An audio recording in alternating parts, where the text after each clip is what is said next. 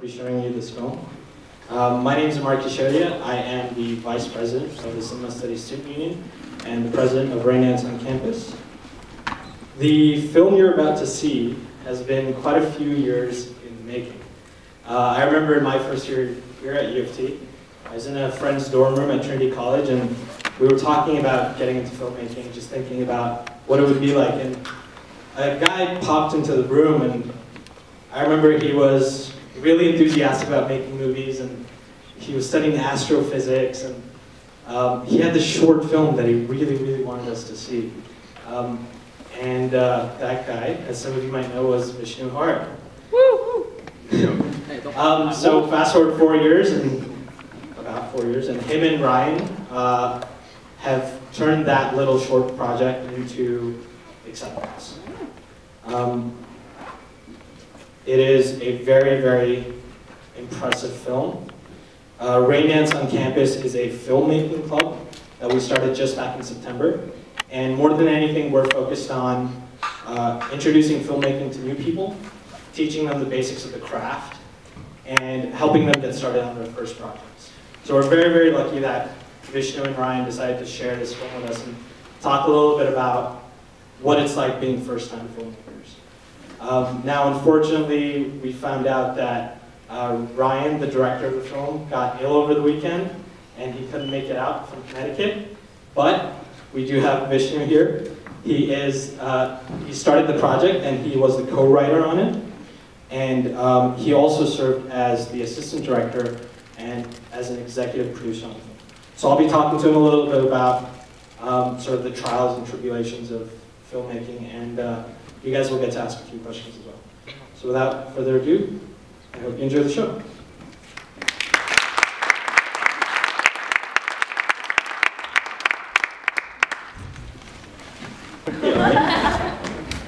Um, so, just to start off, why don't you tell us a little bit about sort of um, where the film began, where, where the idea came out of, why, why you guys did this? So that's a bit of a long story. Some of you are actually familiar with uh, what exactly happened. Um, the way this idea came about, as you know, is based on a true story. Uh, the liar who lied about getting to Harvard is actually me. Uh, I lied to my best friend Ryan at that time about getting to Harvard because I was jealous of the fact that he got to Yale. And uh, I remember that was we were actually in a cab at that point, uh, going to go make a random stupid short film that we wanted to do.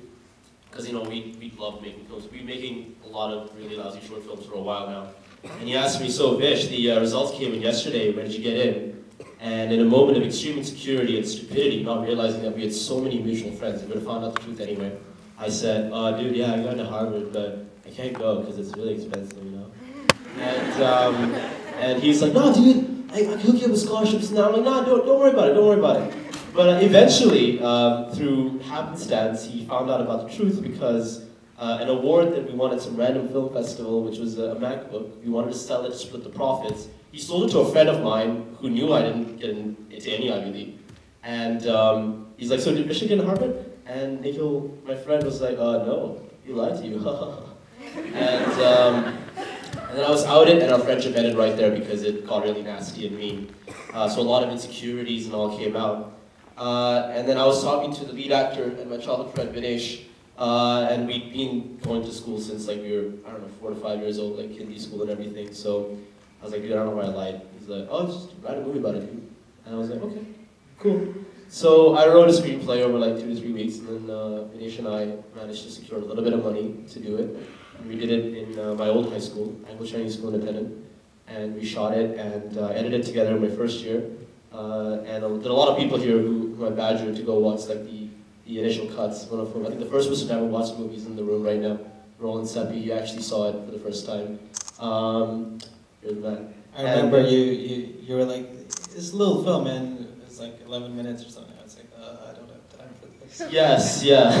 it was. It wasn't really. It was my first ever film, and it was like first film I directed, and it was a bit of a mess. Uh, and even narratively, it was a bit of a mess. So after I, sh- I finished the first film, I showed it to Ryan and said, "This is my apology on languages in film, and I really hope you can forgive me for what I did." And he said, "Let's make this bigger." So we did. We spent uh, a year and a half actually on Skype writing it. It's probably one of the first ever screenplays have been written over Skype. Well, he was in Yale and I was in U of T. So uh, my whole second year, instead of going out partying, I sat at home alone and wrote a screenplay. So that's what happened.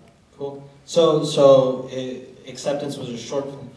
Yeah, it was um, it was like 20 minutes long, I guess. Very poorly cut. We lost like 40 50 percent of the footage because we were using tapes at that time, Okay. and it was a really it was a really ghetto production. Like we didn't even know if we were going to complete it. Um, Vinesh and Hyo, the kid who plays Hyo, are the original like sort of characters. Like they've been there since the start. Um, Hyo actually, I used to tutor him in English. I'm not actually joking. I did tutor him. He's a Korean scholar uh, who studied in, in, in an international school. And I met him at a modeling conference. Uh, so I was like, yo, can you please act in my movie, please? I don't want to play this role, please. He's like, okay. So that's how it happened. So, so it's a true story. You're drawing from honest experiences. So what I'm wondering is, do you think um, was that really essential to writing the story? Do you think this film could have been what it is if you and Ryan hadn't gone through that experience? No, um, I think like the, a lot of the truth in the story comes from the fact that we experience these things firsthand. I mean, what you see on, on film is exactly what clubbing culture in Singapore is like, and that's something that it's kind of like a rite of passage for every sort of teenage kid. Uh, you're not really a man yet until you go into your first nightclub underage. Um, and I know my parents don't really like hearing that, but it happened.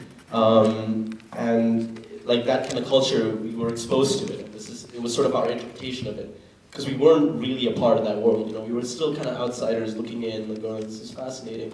Um, so the lie and what happens in nightclubs and stuff—that's all true. It's, it's based on our, like our true experiences. So yeah.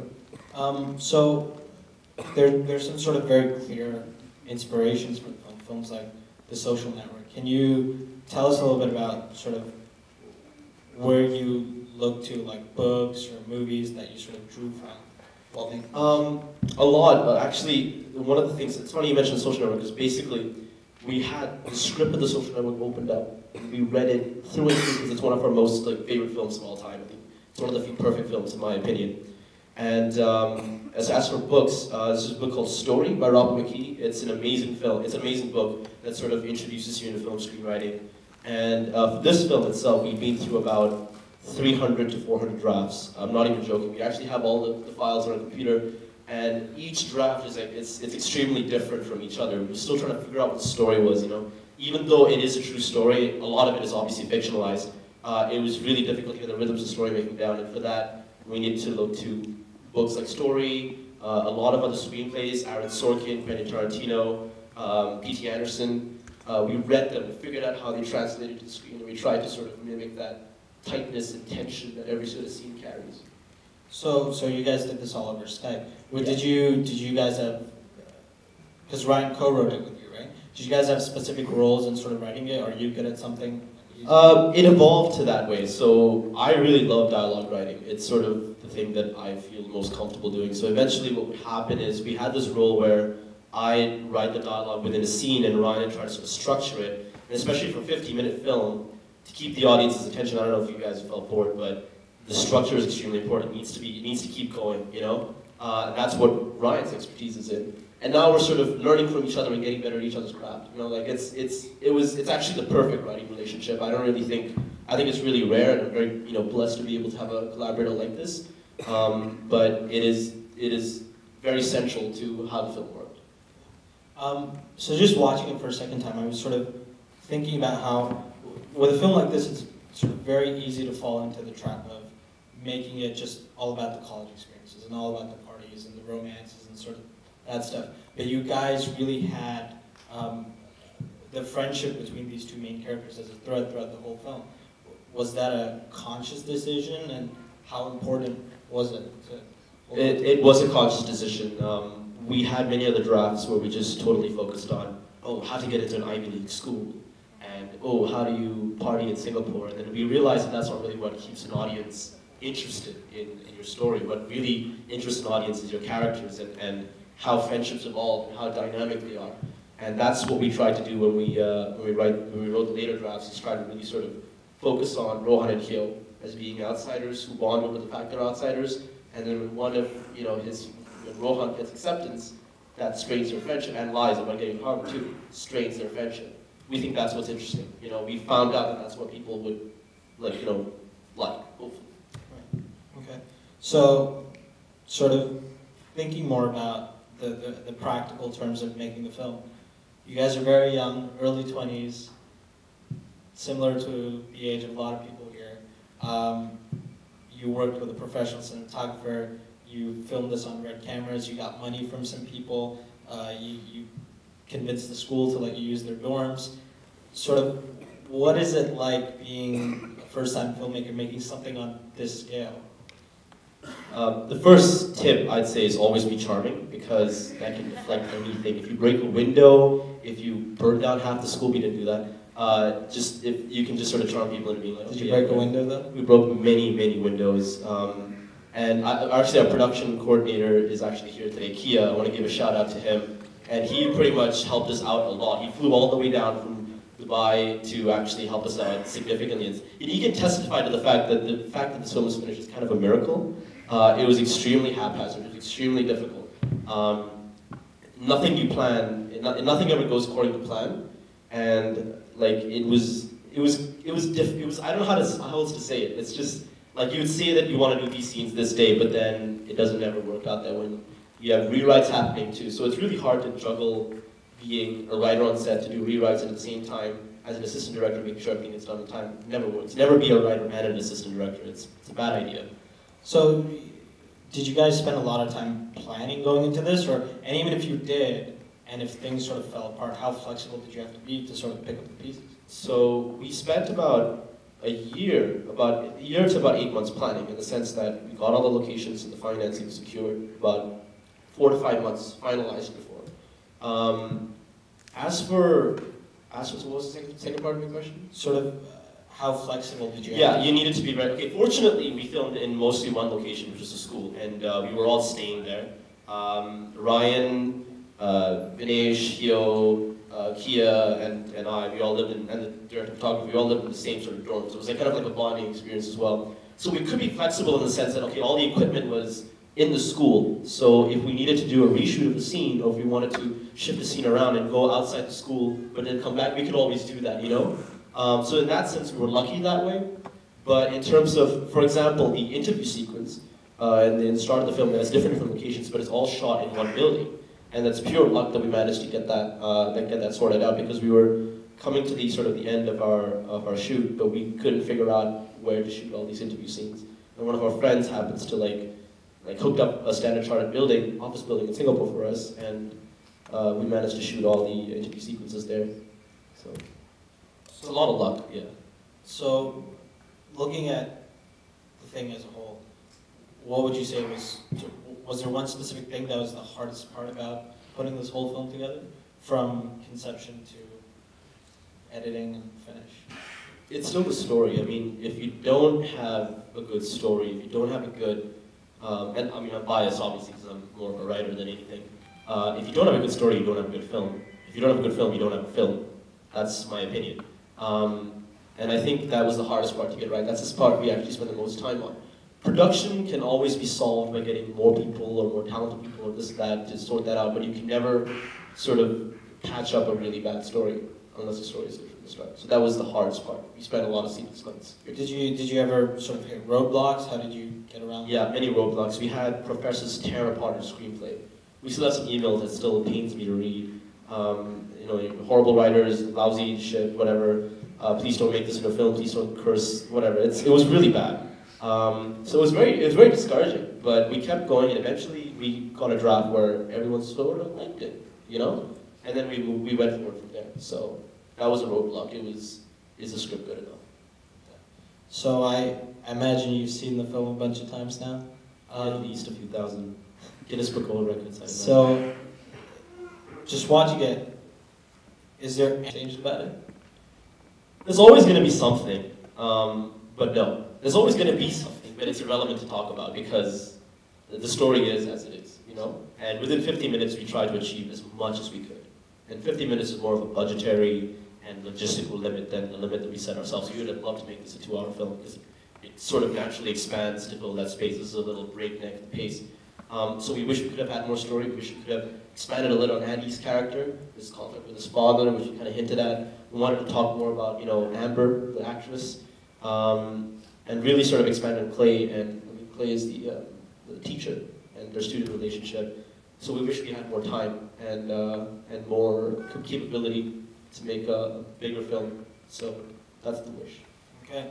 Um, we're running out of time, so we're gonna hand uh, hand it over to the audience to ask questions. But before we do that, sort of, uh, I know we have a few people in the audience who are sort of very interested in filmmaking, and they were attracted to this film because they know that you guys are first-time filmmakers. Is there any sort of last piece of advice that you would give them? Yeah, um, it's always good to work in a team. This is a team effort, and um, we, we established that from the start.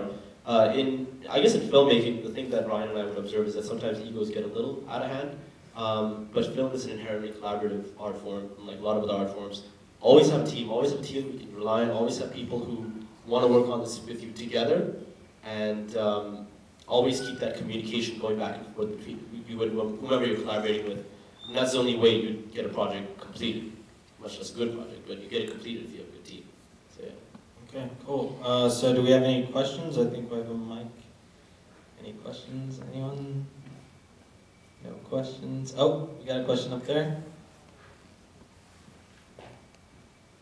Awkward silence while we wait for the mic. You were speaking about the team. Uh, how did you assemble your team? Said you all were all staying at the school, but did you all just go to the school and happen to know each other? Yeah, we all met in various uh, ways. Uh, me and me and Vinesh were schoolmates for a very long time. I met this guy, uh, Hyo, at a model event conference, and he wanted tutoring. Ryan and I have been friends for a very long time too. We've been working together for what six years now, and um, we met at a model event, actually model event conferences. Period. That's how we met pretty much everyone.